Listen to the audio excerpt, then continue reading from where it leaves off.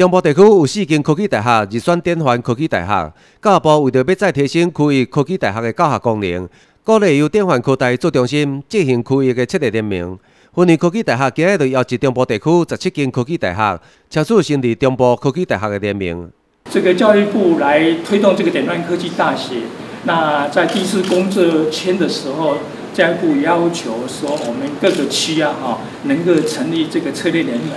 好，那我们中期啊，也因为这样部里面的指示，所以我们在五月二十八号就召集了好各位校长，好召开的第一次的这个会议。校长国强调，科技大学彻底联名了后，会当共同培育人才、合作技术研发，以及分享教学资源等等，提升国家经济竞争力。很重要的就是希望说，好中西的学校透过这样的合作，好在招生，好那这个在教教学、在研发，好方面都能够更茁壮，好那把学校办得更好。参加中部地区科技大学设立联名的学校，为苗栗到云林国关区，拢总有十七间，并且以四间典范科大为中心。从这个苗栗、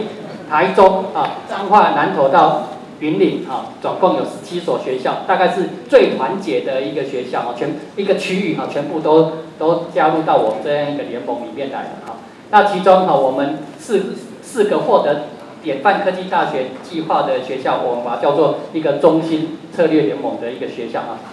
因为每一间科技大学拢有家己的专长技术，芬尼科技大学希望参加七个联盟的学校，也当会当成为地方产业上好的合作对象。